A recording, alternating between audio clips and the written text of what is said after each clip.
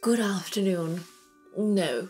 Good morning, good afternoon, good evening, whichever applies to you. Today I am finally making my way through your Halloween requests. Last time I simply ran out of evening. But today I do believe we are reacting to Halloween by Helloween, and so I am very excited to be diving on into this one because you asked for it and if you've asked for something clearly that means there must be something special about it and if you're curious today i'm drinking um justin sip for good luck Ooh.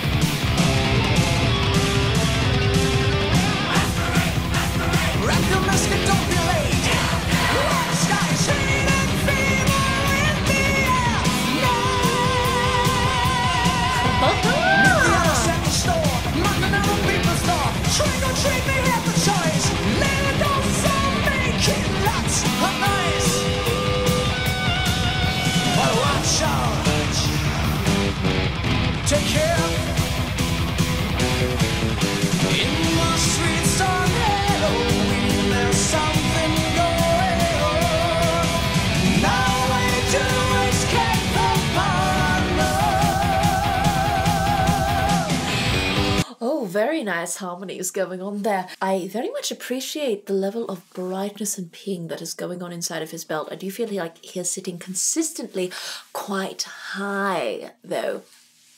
And in order to achieve this kind of thing, you do need some level of steadiness to the larynx because with this kind of sound, it's quite easy to hike that larynx up and to wind up with almost choked feeling. I don't think his larynx is doing that, mostly because of the freedom that I hear in his sound. So his vibrato is even and doesn't sound constricted. His singing has that metallic quality, yes, but it does not sound like it is being strangled or forced through incredibly tight pharyngeal muscles. And so I'm very much enjoying this. I'm curious to see what's going to happen on this All Hallows Eve. I also love the interplay of the melody versus what the guitar is bringing melodically. I think this is a nice balance in the instrumentation. We are going to keep going though. I'm curious to see whether our our pumpkin friend shows up again. So let's keep going.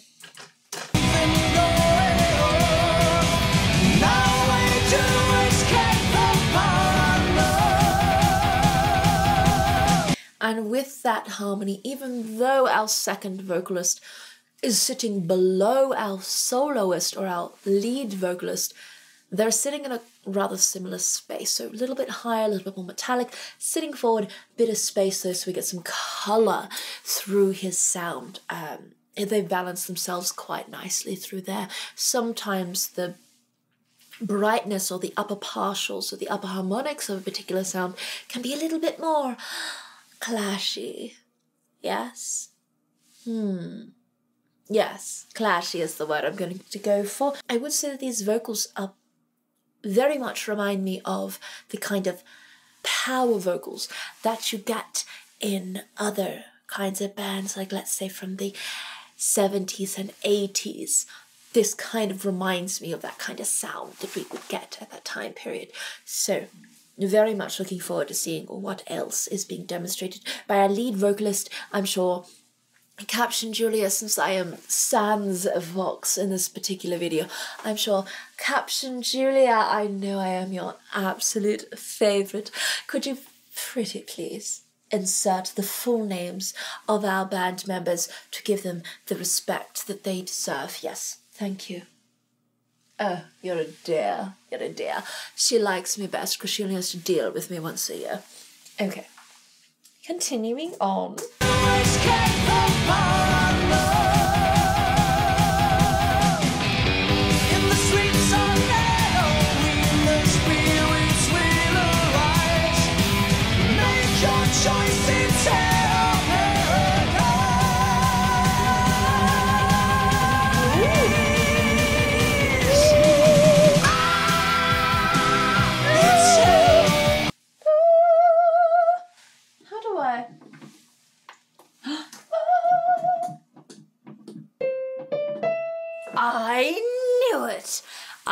Recognize an E5 anywhere now. Anyway, let's keep going. E5, very impressive. Got to be stable, got to have ping, very metallic sound that he is producing. Let's keep going. I love how stable his ascent was. He is very much utilizing his vibrato though, which sometimes I feel like vibrato can contribute to a particular sound, and I think for the style that they are performing in, this vibrato checks off that stylistic requirement. I quite like it. We're gonna keep going.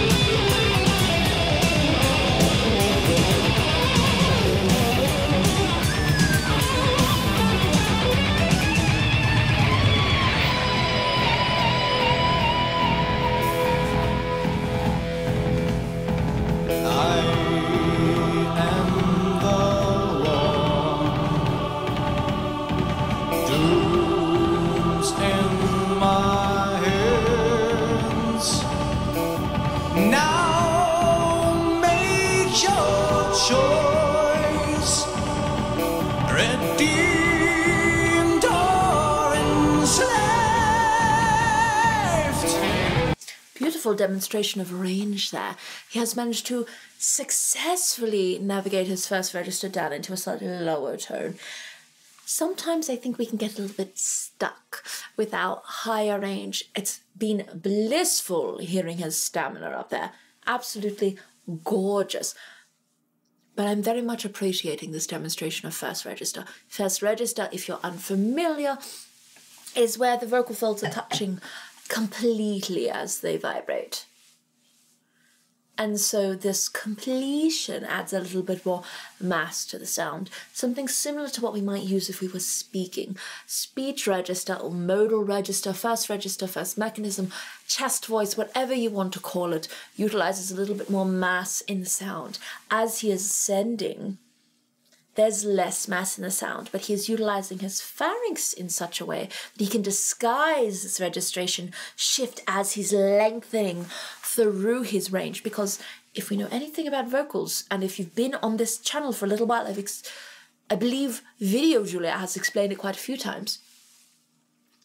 As our pitch rises, our vocal folds lengthen. And so this lengthening means we cede mass. And mass, of course, gives us our first register sound, and so we must balance it quite well as we ascend to give us this gorgeous metallic sound.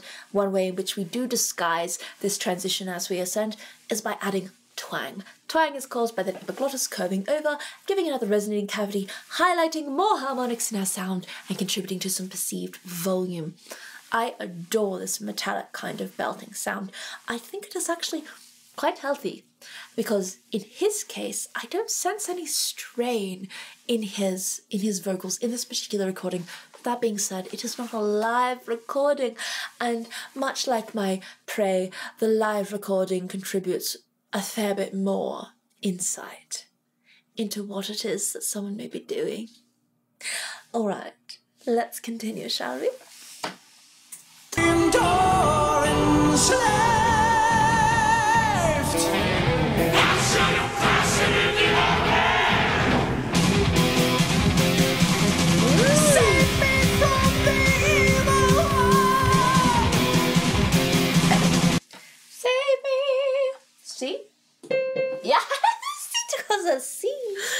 Oh goodness, you male metal vocalist, you rock vocalist, you've trained me well to recognize these sounds now.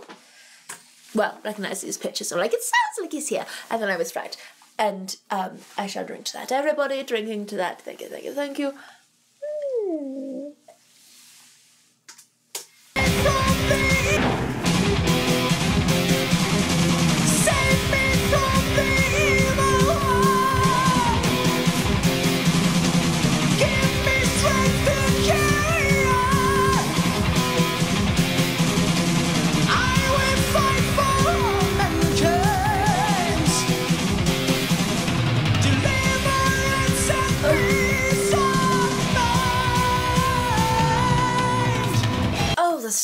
Stamina he is demonstrating in this fifth octave, that is completely wild. It's so clean too. He is belting the entire time. That is a belt. It is a mixed belt, um, very metallic in nature. I think I've already mentioned that. Oh goodness. I opened a vein. Anyway, mixed belt, very metallic. Stamina to maintain this is amazing. That is quite the vocal load to be carrying. We have a fair amount of breath pressure and balance between the vocal folds and our subglottic pressure. And then the shape of our pharynx is a little bit smaller, so we can tune our formant frequencies into something that is got, going to have our twang, upper C volume, contributing out into a sound. This kind of sound is not something that would perhaps last very long if he was to perform this unamplified. And so amplification is very, very important when you are belting like this. If you are a singer who is singing contemporary styles, please make sure that you are amplified. I would hate it if anything were to contribute to vocal fatigue that was involved with a lack of amplification. Yes? Promise me. Thank you, my dears. Keeping on going, this has been an absolute ball. I'm very much enjoying the difference in the guitar layers as well. I could go back and find them, but I've had perhaps a little bit uh, too much of our friend Justin here, and we must continue. Must we? Yes, we must continue.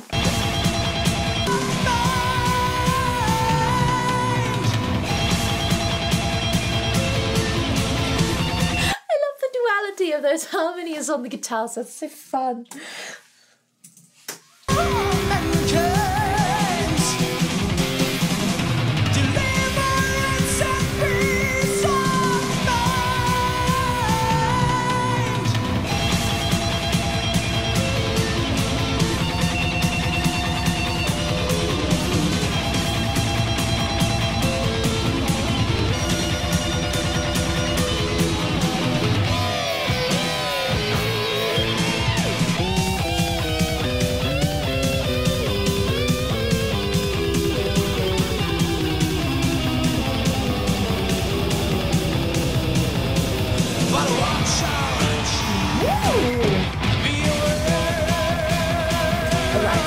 Same twangy placement, still quite bright.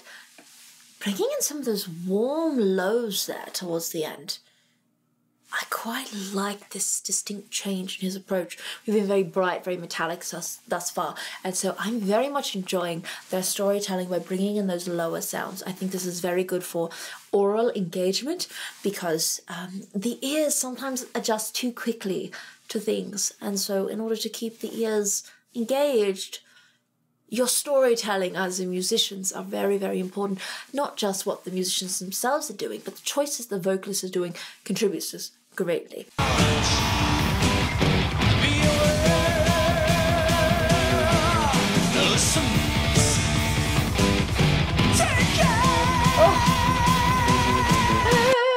C5. Oh no, B B4. Never mind.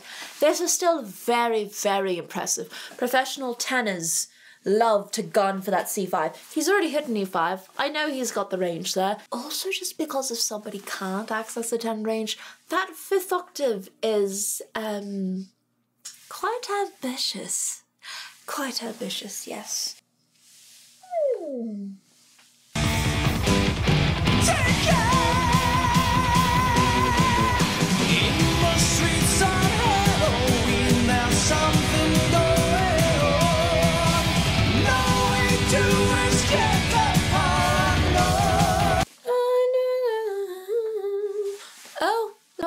Maybe I was wrong earlier.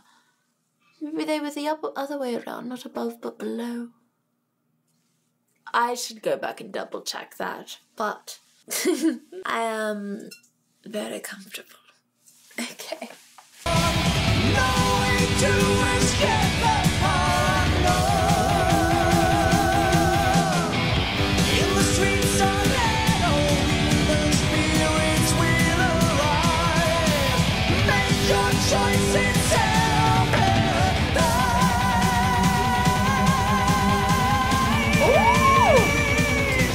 so this melodic pattern has been int- interested me the first time, and now it has interested me the second time. So I'm going to go back and re-listen to this because I feel like we are leaving our key that has been predetermined by the musicianship formula. So let's go back. I just want to listen to this very quickly.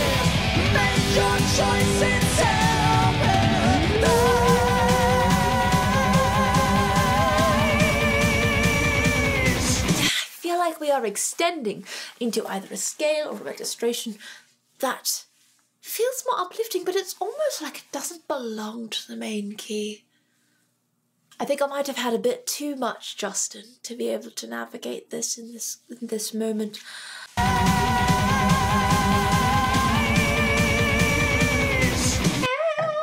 Alright, still in the fifth octave. Oh my god, this guy has stamina for days.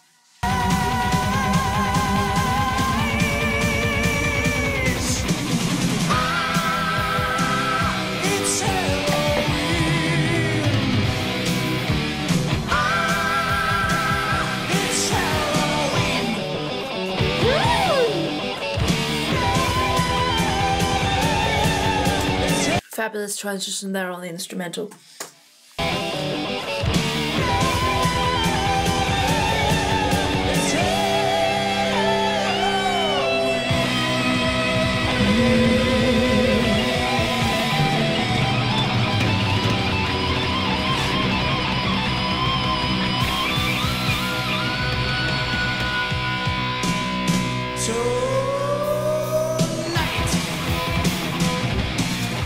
Sounded like he was saying toe night.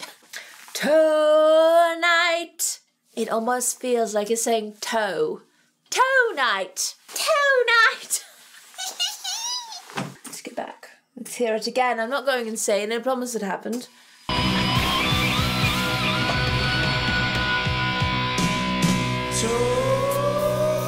Tonight. You heard it too, right? Toe night. It's a toe in the night.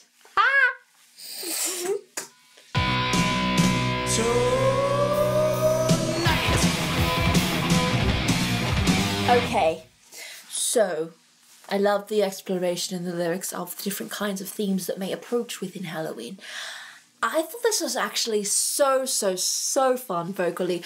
Absolute beast of a tune if you're attempting to sing it yourself, though. Like, just straight up, it's just, it's a beast of a tune. Why? Because he is returning to this fifth octave for some sustained belting. This speaks very well for his stamina, not just as a vocalist at the vocal level, but his stamina at the breathing and support level. This breathing and support is absolutely integral. In fact, if your breathing and support goes, you are more likely to overwork at the vocal level, and this can cause problems. This can cause problems, unfortunately, because here the muscles are so big, and here the muscles are they're so small. They're so small, and so putting the weight of support on their tiny, teeny, weeny little shoulders when you have a perfectly good transverse abdominis, um, oblique, and pelvic floor, latissimus dorsi, latissimus dorsi. Oh God, I don't remember it. When you have those muscles available, your goal as a singer, particularly if you're going on tour, if you have very long shows, or you have songs like this, which have that consistent belting passage up around that fifth octave, very metallic, yes. It's one to get the tone, it is two to have the stamina to execute it over and over and over and over and over and over and over, and over again.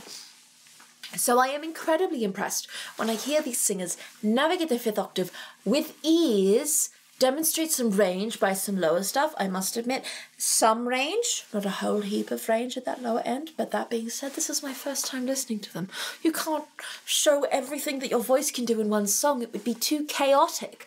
And I love chaos, but for a song, much better for it to be cohesive storytelling than for it to be too chaotic to the point where you can no longer track things and you no longer enjoy it, yes?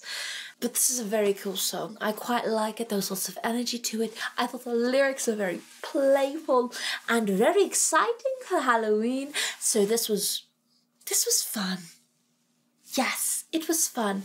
And not just because I am by this point many glasses through through my wine. So um Thank you very much. I deeply appreciate you all. Happy Halloween, everybody. I hope that this video has been enjoyable. If so, please make sure that you like and subscribe and hit the bell for notifications. YouTube is awfully pesky with those notifications. Sometimes I don't believe they actually work. Either that or my Wi Fi downstairs is just truly horrible. That could be the case.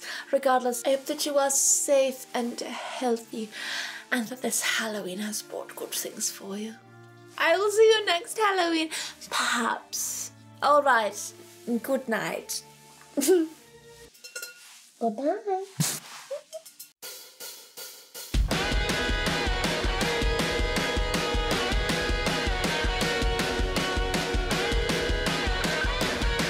They were very, very close to being rid of me this year. Don't worry. I won. You'll have to forgive me. Try strategizing against someone who's been alive for millennia. Fools. Power vocal. The kind of, as you can see, I have successfully gotten rid of Vox, and I am now utilizing her space for my own devices. I've invaded the space of the charismatic voice, so thank you so much to Elizabeth and Kirk for allowing me to use this space from the same period, though, so I perhaps shouldn't comment on that. Sometimes I get confused. Time kind of blurs to because I drink too much wine, but three servings, three glasses into Justin. If I am wrong, Caption Julia, I give you permission to rip me a new one. I believe it is called. Okay, we're done. We're done. Good night.